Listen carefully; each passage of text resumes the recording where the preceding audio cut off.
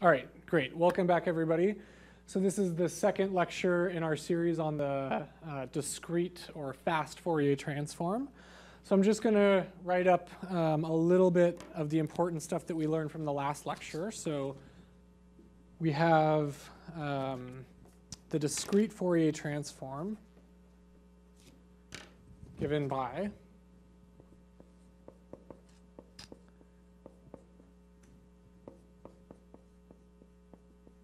discrete Fourier transform. And the basic idea here is that I have some data. Okay, I have data, um, let's say data f0, f1, f2, dot, dot, dot, all the way to fn minus 1. This is my data. And what I would like to do is I'd like to break this data down into a sum of sine waves of different frequencies. And I want to know what is the amplitude of each of those sine waves. How much energy is in each frequency.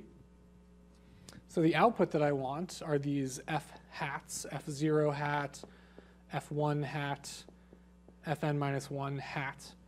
This, these hats just tell me that I'm dealing with frequency amplitudes, um, or rather amplitudes of sine waves of a particular frequency. And we achieve this by means of something called the discrete Fourier transform matrix.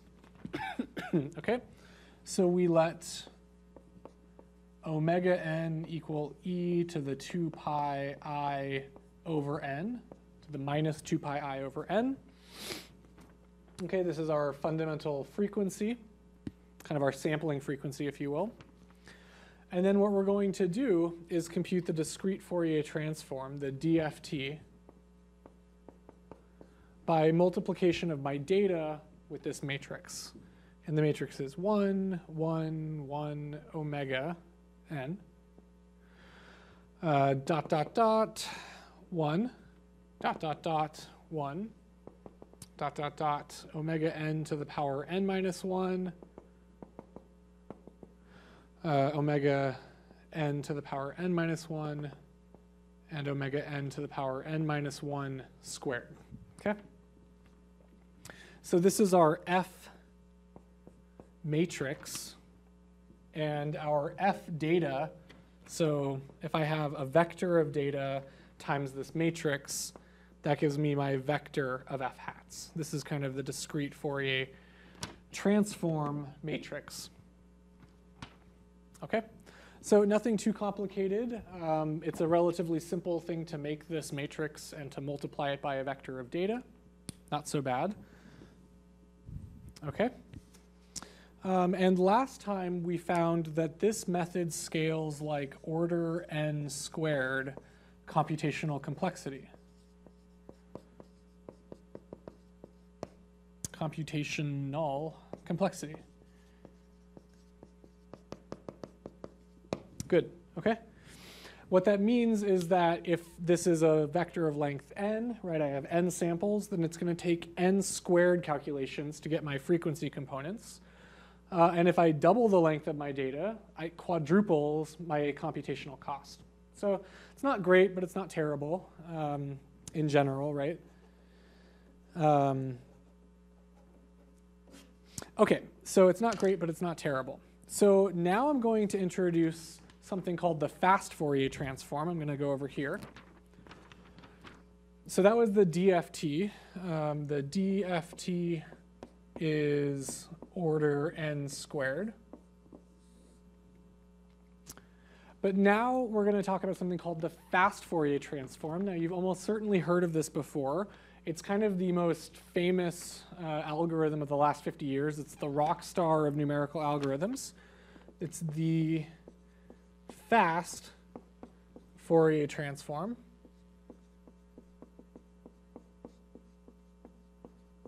Okay, the fast Fourier transform is called the FFT, not to be confused with the DFT. But interestingly, the fast Fourier method is, is a method of computing the discrete Fourier transform. So this is a method of computing the discrete Fourier transform. So the FFT and the DFT over on the right board compute the exact same thing, right? They compute this vector of frequencies from my data, and they give the exact same answer. But the FFT is much, much faster. So the FFT is much faster. This is a computational uh, scientist's kind of ideal scenario. It's order n log n computational complexity, as opposed to order n squared. okay, and just to reiterate, I should write this down. This is one of the most important algorithms that's ever been developed. Okay, one of the most important uh, algorithms ever developed. Now, that's a pretty strong statement, right? There's some pretty important algorithms out there, but this really is one of the most important ever developed. This is uh, ubiquitous in all of the modern computations that make our world the place that it is today. Okay, so I can't, I can't overemphasize how important this is. Um, every time you make a phone call on your cell phone, you're using the FFT. Every time you watch your digital television, you're using the FFT. Every time you listen to compressed music or images or video, you're using the FFT. But it goes way, way beyond just kind of the electronics and telecommunications aspect. In addition to telecommunications, uh, kind of telecom and media, there's also this great world of physics simulations. So most of the interesting physics that we're trying to solve in the modern era are partial differential equations. So for example, I have a beam and I strike it with a hammer and it starts to oscillate. Well, oscillation sounds a lot like Fourier components, okay? Maybe another example is that I have my Boeing 747 wing and I have the fluid flow going past this. The fast Fourier transform gives me one of the most efficient methods of solving the partial differential equations for fluid flow, elastics, all kinds of physical systems. Really, FFT is the thing that is at the heart of all of these simulations, okay? So the fact that we have cutting edge uh, compressors and gas turbines in our power plants that are, the, are incredibly efficient. The fact that we have um, simulations of our nuclear stockpile instead of actually testing bombs now all rests on the fast Fourier transform. We would not be able to do it if it wasn't for this algorithm. Okay, I want to drive this point home. Uh, this is such an important point to make. So let's just get a feeling for the difference between order n squared and order n log n. Doesn't seem like doesn't seem like it's uh, maybe as profound as it is. Okay, so the DFT is order n squared. And the FFT is order n log n.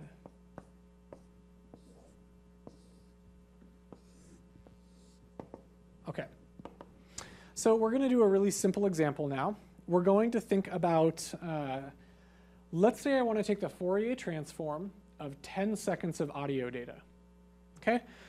Either I have a microphone and I'm trying to listen to some signal and back out its Fourier components. Uh, maybe I'm trying to compress my favorite MP3 and all I have is a 10 second clip. Okay, so the example we're going to do is um, 10 seconds of audio. That's not a lot, right? 10 seconds of audio doesn't seem like a big deal. 10 seconds of audio. Well, what is audio uh, data sampled at? What's the sampling rate for audio data? I'm sure a lot of you know this. You're probably some audio files. Okay, so the sampling rate is 44.1 kilohertz. This is almost always what audio is sampled at. Uh, it's well above what humans can hear. I think human hearing cuts off in the 20 kilohertz range. Mine's lower. As you get older, uh, you lose your high frequency hearing, unfortunately. Rats have pretty high frequency. They can hear up to 40 kilohertz, I believe. Um, audio is sampled at 44.1 kilohertz, which means that's 44,100 samples per second. So 10 seconds of audio is about 400,000 samples. It's about 400,000. That's a lot of samples, okay? And that's n. This is equal to n. That's our number of samples. okay, so what is n squared? It's actually a little bit more. It's just like 40, 440,000. I mean, might as well do it exactly. This is how many samples we have. So what is n squared? Okay, the DFT is order n squared. Well, if I take 4.41 times 10 to the fifth power squared, what do I get? Um, did I do that right? Yeah, that's right. Actually, I'm just going to check myself. So I have 44100. That's uh, okay, 441,000 squared is huge. That is a huge number. Excuse me.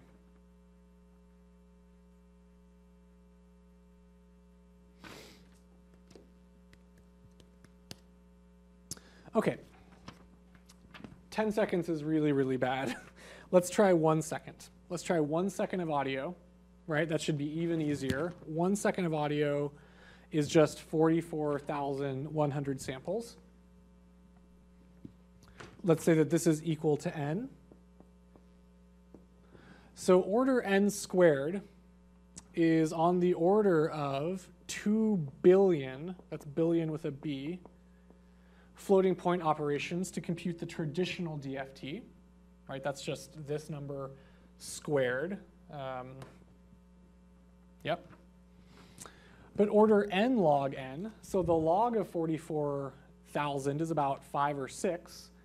And so this is approximately 1 quarter million floating point computations. So what that says is that to compress or to take the FFT of one second of audio data, we get an 8,000 times speed up. Okay? This is the basic step that's required every single time you want to compress an audio signal and transmit it over the internet or over the satellite network. So when I pick up my phone and call someone, my voice over a small amount, small window of time is being compressed and sent throughout the network. And so if we were using the traditional DFT, it would be almost 10,000 times slower for every second that I had to compress, which would just destroy your battery uh, in addition to making it basically impossible to compress signals in real time. So the FFT has opened up so many tremendous opportunities in signal processing uh, compression, data transfer, as well as solving uh, hard physics problems. Okay? Do the example yourself. Try 10 seconds and you'll see that it's much worse than before. Okay? It gets, it gets more worse the larger the numbers are. Or rather, FFT is more faster for the bigger the signal I'm trying to transform. Okay, good. Um, that was kind of the introduction I wanted to give you about the Fourier transform, rather the fast Fourier transform. and so now I think I should tell you a little bit about how it was created. Um, so this algorithm was invented, I think, just about 48 years ago by Cooley and Tukey. So Cooley and Tukey in 1965. And this was at, uh, I believe Cooley was at IBM and Tukey was at Princeton. I don't know if they were friends or not, or competitors or what, um, but they were at IBM and Princeton. So this is interesting. Very often in these great numerical algorithms, you'll see Princeton and Bell Labs. So it's interesting that here we have IBM and Princeton, kind of a change of pace. So in 1965, Cooley and Tukey came up with this fast Fourier transform algorithm which changed everything. Okay? What's truly remarkable, um, and I, it's almost hard to believe, but this is certainly true, it was actually discovered 160 years earlier by Gauss, by Carl Friedrich Gauss. So it was actually discovered by Gauss in 1805. So I think we should let that sink in for a little bit. Cooley and Tukey changed our worlds. They made satellite communications possible in 1965, but it turns out that Gauss had discovered the fast Fourier transform in his notes 160 years earlier. 160 years earlier. There were no computers. They hadn't any notion of mechanical uh, electronic computation. He did all of his calculations by hand or in his head. And apparently, Gauss got sick of doing the very expensive discrete Fourier transform and decided to cook up an algorithm that was way faster. Okay, there's some beautiful number theory underneath this fast Fourier transform that's kind of outside of the scope of this class. But Gauss really knew about that, um, and he thought it was a cool algorithm. Sometimes people will tell you that he thought it was useless but he certainly did not. He really valued that algorithm, but he just didn't have the electronic infrastructure of the time to capitalize on it. He discovered it actually to solve uh, the motion of planetary bodies, which was the driving force for most science and discovery in that era. Pretty profound stuff. This was two years before Fourier ever wrote any of his papers on harmonic analysis. So there wasn't even the notion of a Fourier transform when Gauss discovered this fast Fourier transform method. Pretty remarkable. Okay. Okay, so we have some time left. Uh, there's a couple of things that I really want to do today. Um, really, there's two things that I want to do today. The first one is I think I should give you just a flavor of what the fast Fourier transform is doing. And then I want to give you some examples about how this can be used on audio data. Okay? So, so just a little bit of uh, material here. I'm really, uh, I'm not going to give you the full story of the fast Fourier transform. It's, it's not really terribly complicated, but it's a little technically involved. Um, and it doesn't really matter to us. Um, I think as Gilbert Strang, the great uh, linear algebraist would say, any modern machine worth its salt has an FFT algorithm built in. Probably my alarm clock has an FFT somewhere in it. So really, we don't need to know how to program the FFT. We kind of can take it for granted. But I should tell you just the kind of nugget of of math that allows the FFT to work. Okay, so that's what I'm going to show you right now. Okay, fast Fourier transform. And of course, I will include all of my lecture notes uh, in a PDF online so you can work through this at your own pace.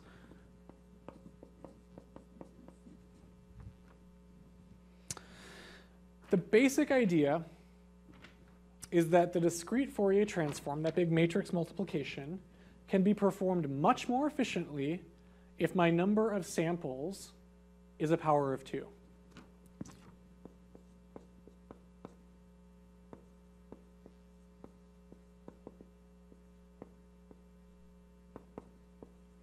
Okay, much more efficiently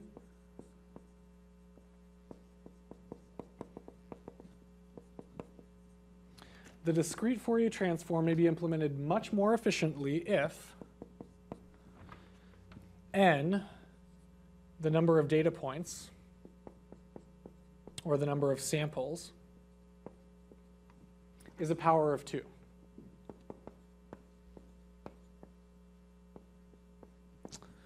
Right? So, for example, I could have x0, x1, x2, dot, dot, dot, dot, dot, all the way up to x 1023.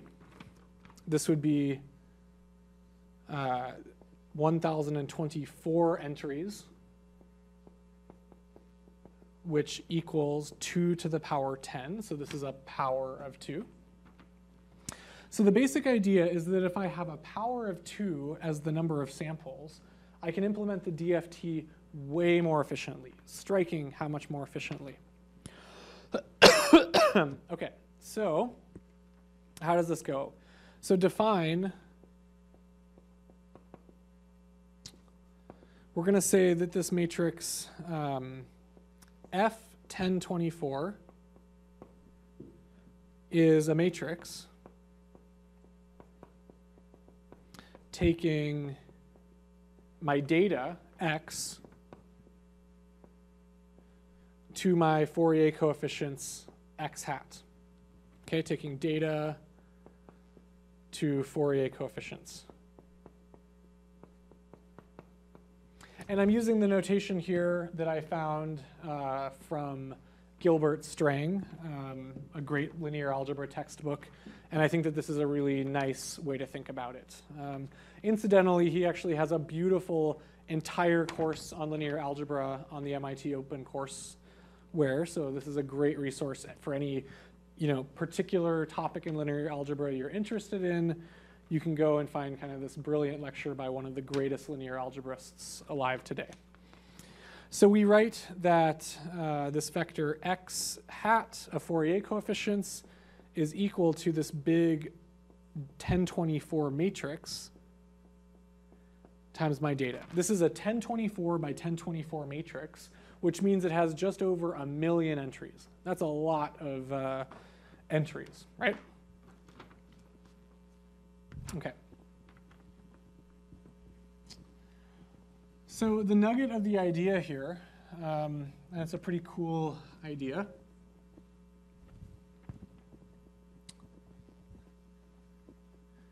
The nugget of the idea is that if we have a, a 2 to the power p number of samples, so I'm on the left board now. So if we have x hat equals our matrix F 1024 times our data x, then what I can do is break this down into x hat equals some matrix times a matrix F512, F512, 0, 0, and then all of the uh, even x entries and all of the odd x entries. Now, this is a little bit of a weird notation. I'm going to tell you what this all means in a minute. Uh, I think this is right. So F512 is the 512 by 512 uh, discrete Fourier transform matrix. It's a lot smaller than F1024. And so this thing, half of it is zeros. So right off the bat, we've saved a factor of 2 in multiplications. And all I had to do was take my x vector and pick out all of the even entries, right? x2, x4, x6, x8, and all of the odd entries, x1, x3, x5, x7, and so on, and stack them, multiply them, and then multiply them by this kind of detangling matrix. So I've, I've pulled out the evens, I've pulled out the odds, and here I have to reshuffle them back together and weight them. Um, this is the identity matrix, and D is an easy to compute diagonal matrix.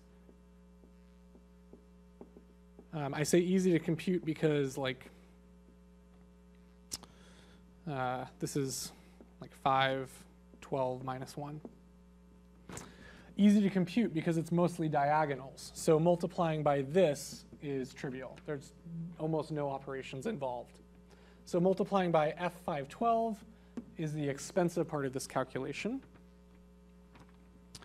Okay, You can really actually see this if you write the formula for the discrete Fourier transform. So let's see if I can uh, find this in my lectures. So if I actually write down the formula for the DFT, right, my uh, x hat k equals the sum from n equals 0 to big N minus 1 of x n e to the minus 2 pi i k n over big N. And so the basic principle here is pick out all of the even coefficients here and write that as one sum. And then pick out all of the odd coefficients and write that as another sum. And you'll find that you get two smaller 512 sums in terms of something squared. And if you reshuffle and reorganize, you can find, in fact, this is a great exercise if you really want to know what's going on here.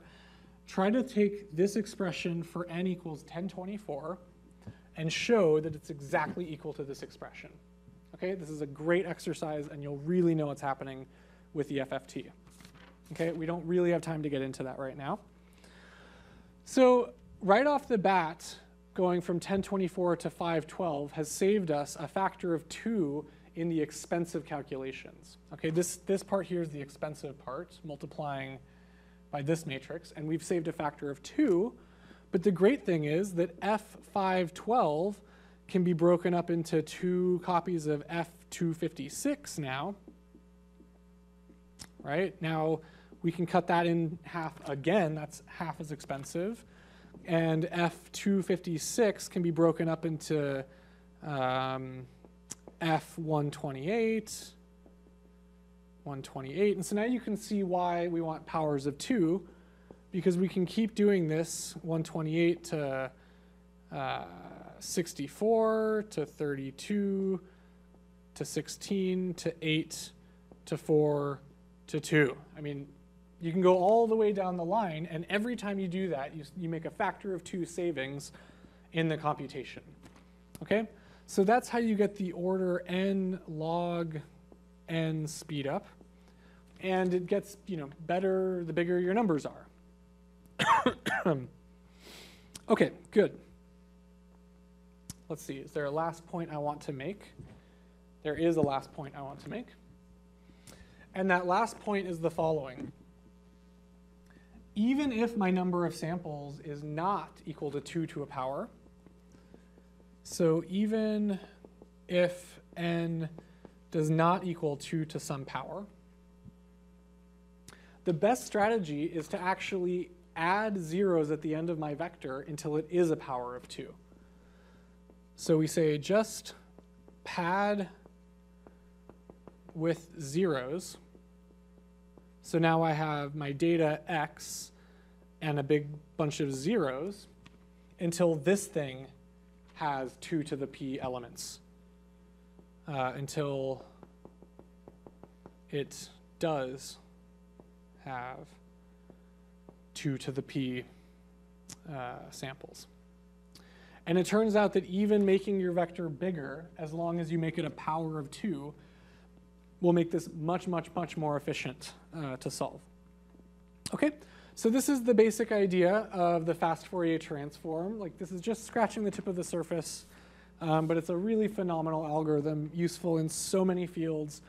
Um, you can really attribute a lot of the modern era to this one algorithm, which is uh, kind of special. Good. Okay, so now what I want to do um, now that we have this part of the lecture, I want to dive into a few more numerical examples. Okay, so theory is great, but we want to see rubber hit the road. Okay?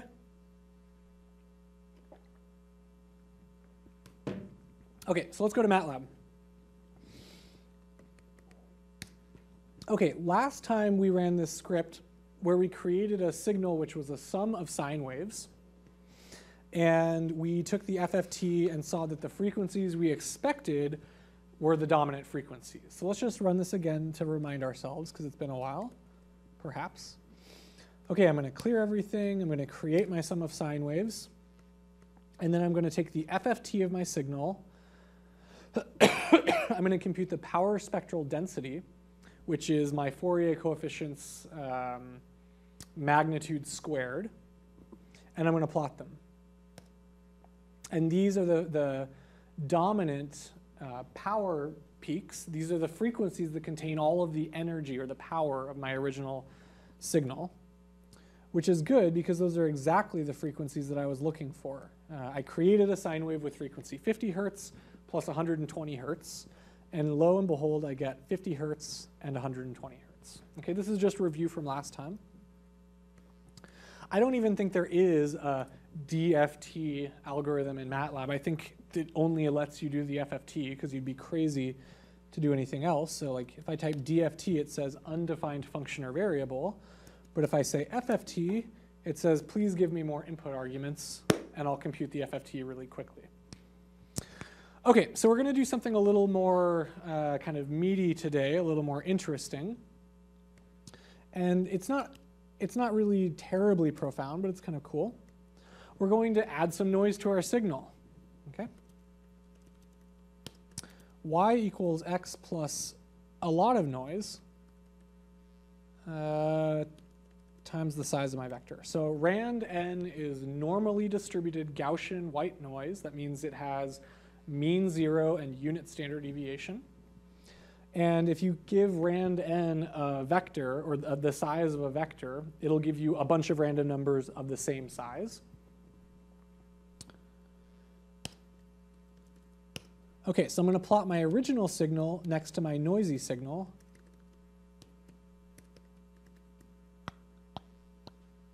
And I want to plot this in red, I believe. And I'm going to make a legend that says the first signal is clean and the second signal is noisy.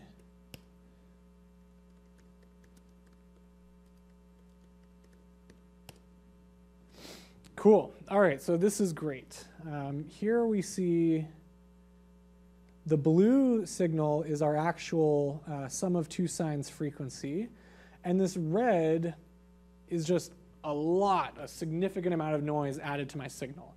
Now, if you just looked at the red curve, you might say to yourself, that looks like it has four or five frequencies, and I bet you wouldn't pull out 50 and 120 just by eye, okay? okay, so now instead of taking the Fourier transform of my clean data, x, I'm going to take the transform of my nasty, noisy data, y, Okay, and so now we see, this is the FFT of my noisy data. We still see these beautiful peaks at, now it's 49.95, right, 50 hertz, and 120 hertz.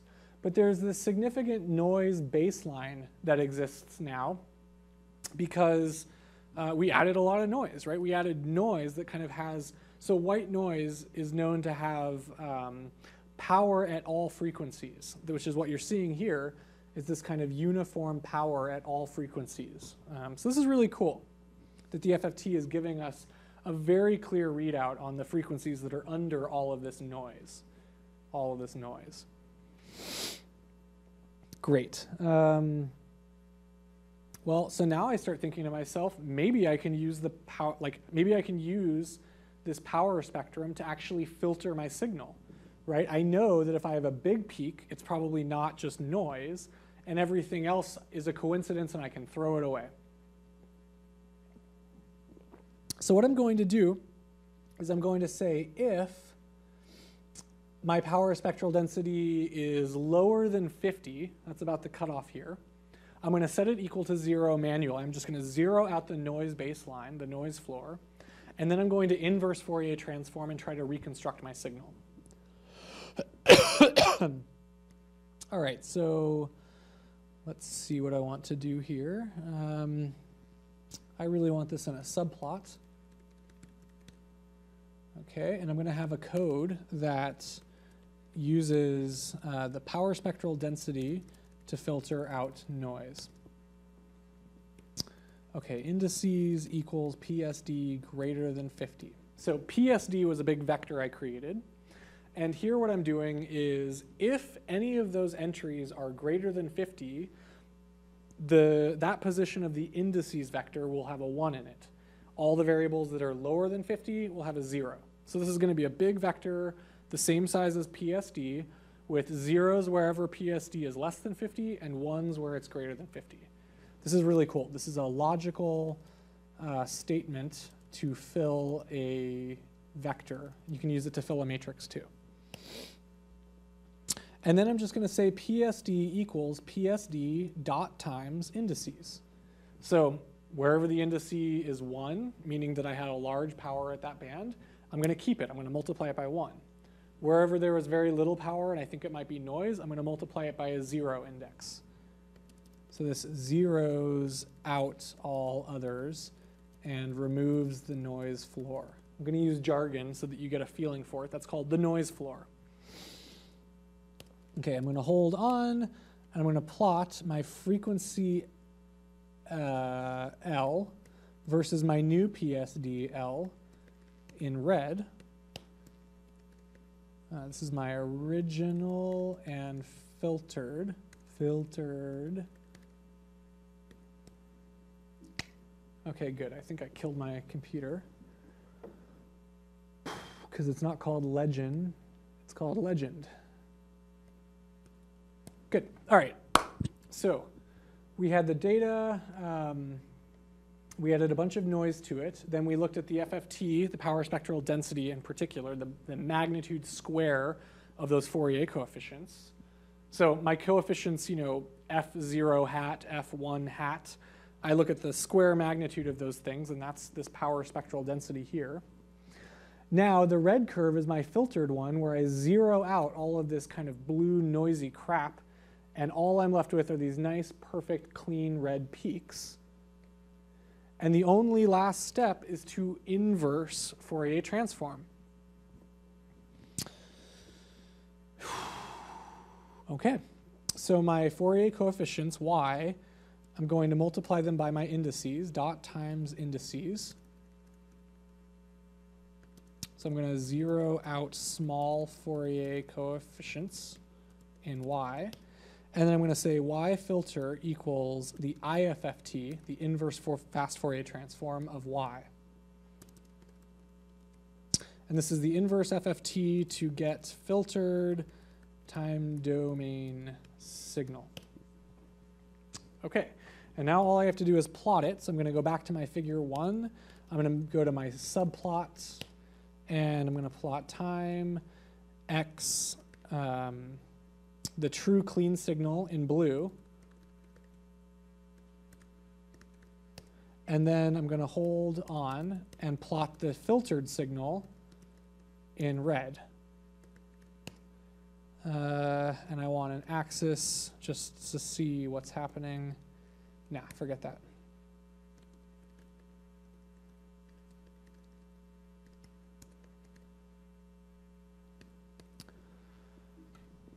Okay, something died. Um,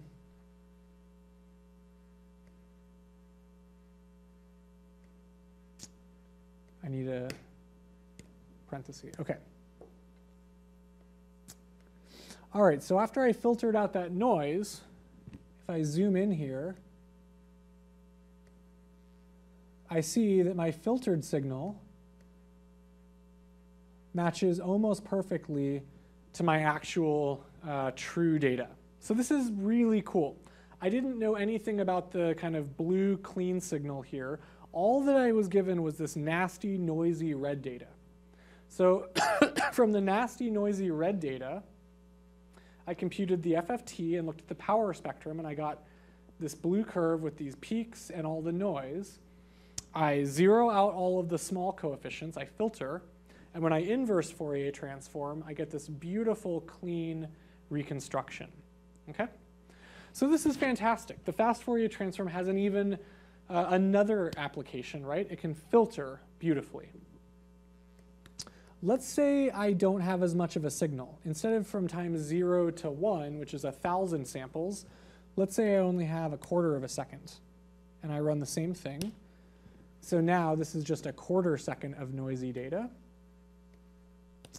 And now when I FFT, notice that my 50 hertz is barely above the noise baseline. Um, and if I just looked at this signal, I might actually think I need to cut off at 20 because these look kind of important. So let's cut off our filter at 20. Um, right, so we're actually keeping a lot of nasty peaks, and our reconstruction doesn't do very good. However, if I go back and I make my signal longer, I should probably close all my figures.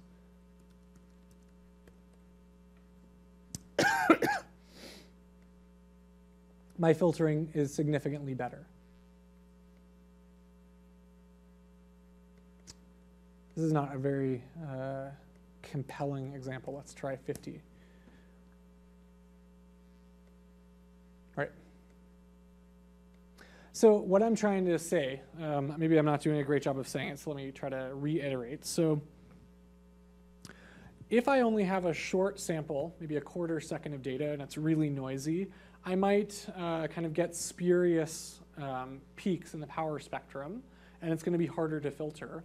But the solution's quite simple. All I have to do is just wait longer and collect more data. Okay? And my filtering gets better and better. Okay, the last thing we can do is we can actually play the sound. So MATLAB is really cool. You can say sound of y 1 over dt. Uh, let's see if this works. Okay, I'm going to make it a little bit longer, maybe uh, two or three seconds, just so that you can hear it. So that's what the noisy two frequency sine sounds like. Let's see what the clean sound wave, sine wave sounds like. Much cleaner. I'm not sure if you can hear it. Ah, and my MATLAB dies. Okay, so that's the basic, um, the basic idea of using the FFT to filter. Okay, so I have maybe five minutes left, and I'm going to give you one uh, last cool, well, maybe two cool last examples of the FFT. Um, and this is called the spectrogram. Okay? So I'm just going to run this one more time.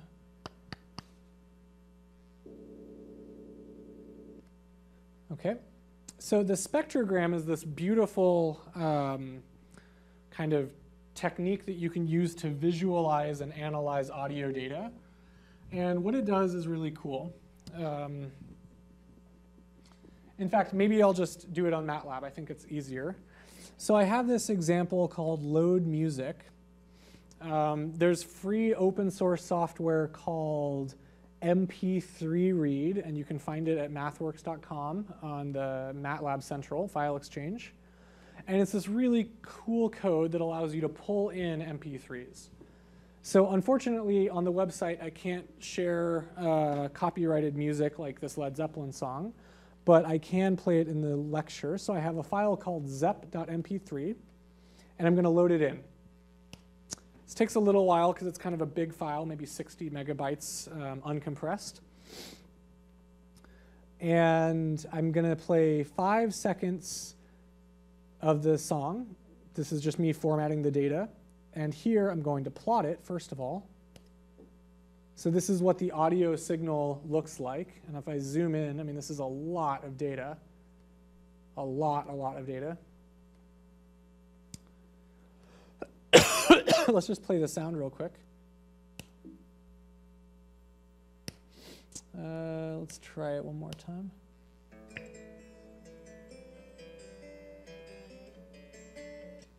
Okay, so that's the first five seconds of a really good Led Zeppelin song. Okay.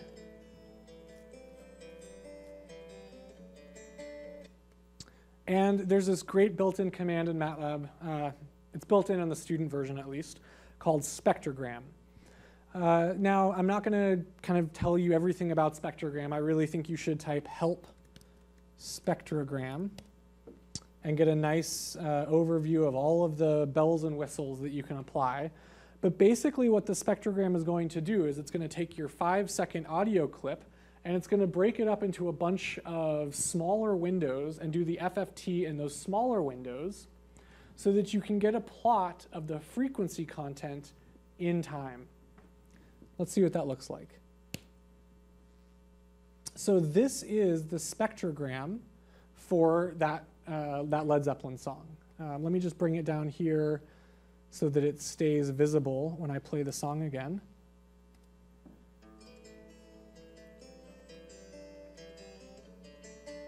So the song Time is going from left to right, and these are the frequencies represented at each moment of time. So these are low frequencies and high frequencies. Um, and notice these band structures. What do you think that these uh, banded structures represent? Well, these are the chords and the harmonics of these guitar chords being played uh, one after the other. So you can actually see um, time being kept. You know, these are the, the timings of each of these chord transitions and plucking of different strings. Okay? So that's kind of cool. Um, I think that there's some really great examples on YouTube, so I'm just going to see if I can find one. Uh, YouTube, not you, but YouTube spectrogram Beethoven.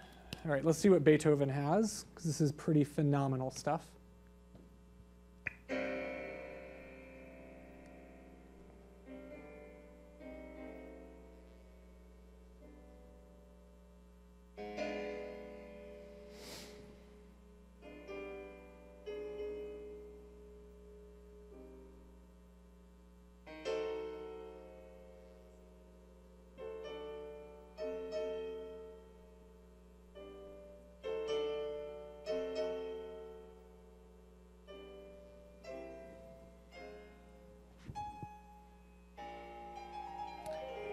Notice here that there are tons of vertical bands that are excited, that have large Fourier coefficient. Now, the piano player probably doesn't have, I don't know, 50 or 60 fingers. So these are really the harmonics that are being excited um, by these chords and these complex uh, resonating sounds.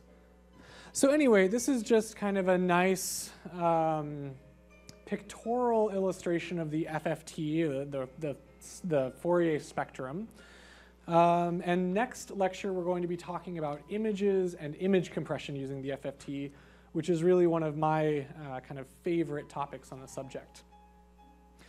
Okay, so that's all for today. Um, I'll see you in the next lecture. Thank you.